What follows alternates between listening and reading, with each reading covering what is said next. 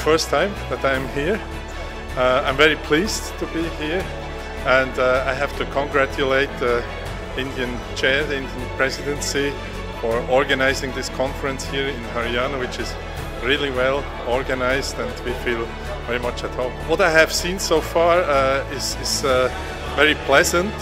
It's like very well organized and uh, we can see that the city is developing, construction around and people are very polite, very helpful. Uh, even when we are using the Uber, the, the local transport, things are very good. Amazing, the hospitality is amazing.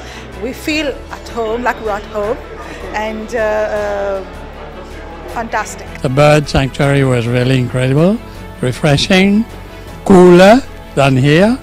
It was very nice to see the variety of birds and how it's been preserved. And as far as here is concerned, it's amazing how you're keeping the tradition. My compliments to Indian for your hospitality because you are very, very kind. I never met people kind so you.